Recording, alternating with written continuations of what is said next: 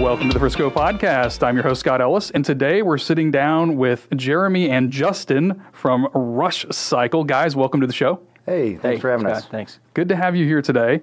Um, I'm a huge fan of cycling. I do it mostly indoors. I'm not an outdoor guy so much, but I'm excited to have you here because I want to hear a little bit more about Rush Cycle and what brought you guys to Frisco and what makes this different than other uh, similar types of workouts. So let's, uh, Jeremy, why don't we start with you and, and then we'll go over to Justin. But how did you come to be a part of this and, and why this particular business? Like a lot of things, you you think about uh, the booming era, the booming industry, the booming economy. Like I want to get a part of that. I want to I want to get involved, be a part of a, a big time city exploding. And there's probably not a larger city like that in America right now than Frisco. Um, so with that in the back of the head, my wife found the franchise, found uh, on a show she liked that we don't watch together because it gives me anxiety. Um, anyway, it, we, we talked to, sent an email to the guys over in San Diego, Tim Susky and Corey Spangler. We flew out to meet them. We rode a class. It killed us. A lot of fun. As you can you can tell, we're, we're not like uh, fit and uh, you know We're not the biggest cyclists triathletes yet. Yes. Okay. Working on it though, right? Yeah, we're working on it. And so we uh, we talked to those guys out there. We bought into their brand, their community focus, their culture. Um, Rush is a place where you come in and you're not left out. You're not looking over there and somebody's just looking to be the strongest or the fastest, and you're just in the way. Everybody, it's like Cheers. You walk in, everybody knows your name. They're glad you're there. You kind of go into it together. You ride together, and then when you finish, you're sweating like always, and then you come back the next day or the day after. That's kind of the goal. Well, I love that, and and I know that that kind of community focus and camaraderie is a good good way to encourage people to keep coming, so that they're meeting their goals and doing the things that they need to do. So, Justin, how about you? What was what inspired you to get involved in this and take part in Rush Cycle? Uh, much like Jeremy said, I've always had kind of a vision to be a franchise owner. Um, originally thought it was going to be food, and then realized that maybe that's not the best idea. How much work goes into that? Um, but then Jeremy, like you said, his wife found um, from the show Outdaughtered, uh, the place in League City. They opened up a rush cycle, and that's kind of what initially, you know, got us interested in it. And then he brought me in a couple months after he's been going through the process. Brought my wife and Whitney and I in, and we, you know, went out there to San Diego, did the ride, and just had an absolute blast. I mean, we've I had zero spin cycle experience prior to this. My wife had done a couple in college, and you know, at the you know Anytime Fitness or not Anytime, but uh, LA Fitness. But uh, we went out there and just had an absolute great time. You know, we we were very intimidated going into it. Then once you're there and you're kind of in the setting, it's dark, it's dim lit. You know, everybody's kind of doing their own thing. There's not some big projection scoreboard showing you you're in first or last. You're kind of riding at your own pace, and you're getting a great workout. And um, I, we just fell in love with it immediately. So, describe the experience to somebody that's never been to Rush Cycle. Uh, when I go to my first class, what am I? What should I be ready for? What am I in for? So the main thing they say is it's very rhythmic. It's a rhythmic workout. It's a you have a lead instructor on her podium, then you've got 43 bikes in front of her, him or her, and they are just they're dancing. They're keeping you, you know, they're dancing in, in and out of the saddle. They're you know not up jumping around in between the seats. Right. dancing. But they are just going. They're keeping you on beat, and you're just you're riding. Next thing you know, you feel like you know 45 minutes has just gone by so fast. It's dark, black lit. It is. It's a really fun thing to do, and you're burning. I mean, I checked my iWatch. It was like 650 calories. Yeah, that's a good burn in that time. burn, yeah. Okay, so it's basically kind of it's a dark room, but you say it's blacklit. So Yes, there's a there's a power board up there that our instructor has, and she can hit the big lights, the black lights. There's four lights around the podium that she can turn on anytime, and so I mean, it just kind of keeps you engaged, and it's it's just fun. so you can kind of modify that environment per the instructor and the type of class that they're doing. They've a little got their playlist depending on what music they want, and it goes They're the with the, DJ. beat. Yeah. They're also the DJ. They come and they're, I think they're a part pastor. They kind of give a sermon midway through, Right. And they'll turn all the lights off, and, and that's when people are still spinning. You're supposed to be still spinning. It's very Right. club-like. You need to you get know, a you breather. kind of you can right right in that moment. Okay. and then they just crank it back up, and then it's I mean, Sounds like good energy though. They're kind of keeping everybody going and Yeah. engaged the whole time. So tell us about some of the instructors. Do they have? I assume they have different personalities, different types of playlists. they are the rock stars. Yeah. So they keep the people coming back. We were very fortunate to get. Um, her name's Tony Tegler from League City, actually. So she was with Rush Cycle in Houston, had to move up here. Um, she found out about a year ago that we were coming to Frisco, and she lives in Dallas. okay. And so she had pinged our national instructor, kind of the master trainer, who has been in town for a couple of weeks. And it, it's so easy because she comes up, she's already been through the training, and that's a big part of Rush 2. Um, they're not just there for their shift, they're not just, hey, I'll just come be an instructor. There is a legit four week intense certification process they go through. Okay. So they have to have that passion. They have to have that that drive to do that, and they do. And you'll feel it when you're on that bike and they're not stopping. And there's no, you know, a lot of these places and a lot of different gyms, you have a two day certificate training, and then, hey, boom, you got your class, let's go. And like Jeremy said, I mean, it's a four week, you know, they have to invest in it as well. Um, and they come in and they, they're not teaching those first four weeks, they're riding along with our master trainers. And then after that four weeks is up, it's kind of, it's their time to go. Okay. So it's- and that sounds like an important differentiator as opposed to, you know, somebody that does have a much shorter certification process. You guys are, they're really required to, like you said, invest time and effort into doing what Rush Cycle, you know, Yeah, because at the end of the into day, that I mean, culture and you know, Absolutely. people are coming for the community and but they also are coming for you know that instructor you know she's a talent she's up there Yeah. killing it and, then you know get them that workout so if they're not ready we need to scale them back and go from there It's one of those things you definitely can tell the difference when you walk in the door. Yeah. The uh, the training. It sounds like fun. So are there are there other types of activities that go along with the rides? Like I know I've seen in some cases I prefer when I get on a bike I just want to ride and ride hard, but in other cases where maybe they do some light weights or they have bands or other things that are going on around that do, do, does Rush Cycle incorporate some of those things as well or are we just in there to ride? We're in there to ride, and we also have weights. So Okay. we'll do some arm exercises. Um, usually like the last two three songs will incorporate arm exercises and we've got two three four and five pound weights Okay. kind of go at your own if, grab- you're a big bulky guy double up Yeah. You Yeah. grab the five pound weights, you, you think that's not enough. You're Yeah, but after a 45 minute ride it yet, Yeah. Go might be the twos. surprised. Yeah. Okay, that sounds good. Um, so, what else can you what else can you tell us about this? So how, how much? First of all, how much does it cost to become a member of Rush Cycle? So right now, unlimited membership is 109. Okay. Uh, it's kind of the first month we're in the soft opening phase. That's going to jump to about 129, Okay. and we're going to offer eight pass, uh, eight class pass for 109, and then we're mixing in some four class passes, and it's kind of a every market's unique, right? So they're trying to figure out the best schedule uh, for the exact classes in the morning. Like right now we have 5:45. Well, if we find out that we can, you know, get people there a little earlier, 5:15, so they can get showered and get out to work, we we may adjust that way. And same with the packages. If people can't go eight times or more a month, then we'll dwindle it down to the four, maybe a six class pass. So it's kind of a Kind of learning what the market are. needs in Frisco Yeah, we're right working now. out yeah. the kinks right now Yeah, just trying to make sure we But for right now, if somebody wants unlimited, it, they can sign up for 109 a month. 109 a month Okay. Well, that's good, and you can go to as many classes as you want with that. many as you want. Okay, good news. Yeah. How, what is the right cadence of going to classes? Like, is there such thing as too much? Is there an ideal? I mean, everybody's fitness level may be a little different, but what do you guys recommend? I, I would say, you know, if you could, as much as you can go, but definitely your body needs rest with whatever you're doing. You Yeah. know, I would, I mean, five days a week, I Yeah. think would be pushing it. Um, consult with your physician yeah, Yeah.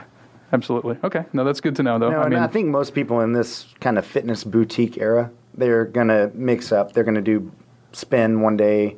They'll go do kind of like a HIIT class another day. Yeah. So I mean, I think it's we like having a bunch of other things around us, so that way all these people can go and kind of incorporate all these things to their workouts. yeah, and that, that makes a lot of sense to me. I like to do the same thing. I think if you do the same thing over and over and over every day, it gets a little bit Yeah. gets a little bit dry. So Well, you hit a bunch of good results quick, and then you kind of go stagnant for a while. So Yeah. it's, thing about spin, it's it's good, it's great cardio, no doubt, but it's great for your joints And it's you know it's something a lot of people can do. We're not asking you to grab a, a sledgehammer, and Right. Run around and flip tires and you know get hurt that way. But at Yep. least at least we could. I mean, most respect, utmost respect for those that can. Right. But this is kind of a Yeah, and it, bring it together type thing. and I think one of the things and one of the reasons that I fell in love with with riding was it it, it is something that you can do for a very long period of time. You know, I'm sure you guys see all ages and oh, levels of people in there.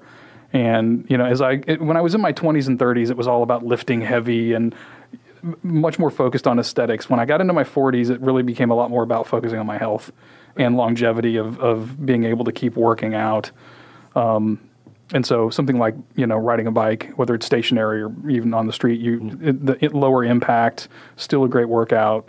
is Something I can see myself still doing, in you know, decades down the road. We've had a lot of uh, cyclists kind of mention to us like, "Hey, this is great because when it's raining, I can't I can't road bike. Yeah. but I need to keep training. So this is another good idea for me to come in here. Oh, and, Oh yeah, and absolutely. get going. or when it's 110 outside. Yeah, Yeah. I was gonna say I wasn't even going to bring up the heat all 'cause we're summer in in Texas. Texas, but yeah. Well, and it's also I I think it it, it again it, for for somebody that does ride street, it kind of breaks things up a little bit. It's a little bit of a different workout. You get some you know get a good DJ up there who's also you know motivating you and pushing you a little Oh, yeah. bit. And to be fair. I, I do see people riding in Frisco, but Frisco I wouldn't consider the most bike friendly city to ride around in either. So Not anymore. yeah, especially with all the traffic. Yeah, it's getting busier and busier. So, but all that busyness should also be great for your guys' business. We're, we're hoping Yeah. so. Yeah. So, when did you actually open? What was the date? So grand opening is actually September 7th. Okay, it's So- mm-hmm. coming up. Okay, We're in this. We're still in the soft opening phase right now, and that's been going on since two Mondays ago. 12th of August. Yeah, August twelfth. okay.